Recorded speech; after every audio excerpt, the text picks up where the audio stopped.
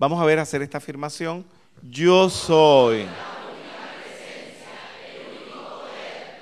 única inteligencia y la única actividad, actuando, dirigiendo e imponiéndose en mi vida y en el mundo. Nadie más tiene poder, sabe o actúa sino Dios el absoluto. Esto no es una afirmación cualquiera. Esto es, señores, para cambiar una situación de negativo a positivo. Seguimos. Entonces, uno no tiene por qué estar en el plano de la lucha, ocupándose de todo porque Dios lo puede hacer.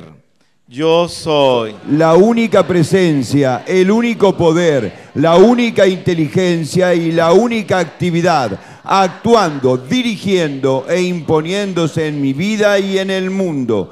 Nadie más tiene poder, sabe o actúa sino Dios el absoluto. Seguimos. Negación advaita. Negación niega constantemente todo lo que no sea la unidad divina, todo lo que no sea para Brahma. Es considerar solamente al absoluto para Brahma y ver todo lo demás, lo dual, como irreal, que no es la esencia divina, que no es la realidad. O sea, la mentira, la brujería, las fuerzas armadas que vienen a matar a la gente, eh, la fealdad, los accidentes, todo eso le vas a decir neti. Neti es en sánscrito. Quiere decir, esto no es.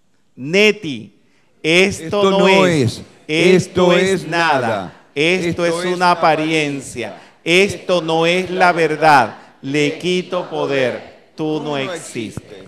Lo que quería, que siempre viene a mi mente, lo que quería hacerles ver es cómo estas enseñanzas tan profundas del Sanatana Dharma de 18 millones de años vienen a desembocar en el librito de Connie Méndez tan sencillo, es el mismo principio.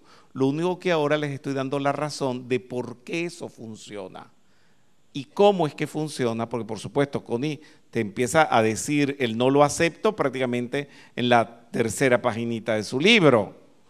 Y te dice nada más que lo hagas y lo haces y por supuesto te funciona porque eso está respaldado por una ley cósmica.